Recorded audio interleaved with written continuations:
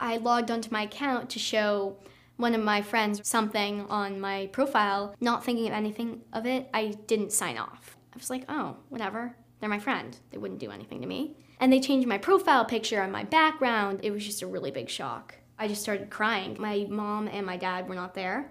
So I, I told my grandma and my aunt, and they really helped me get through it. Know that it's never okay for anyone to make you feel less than awesome.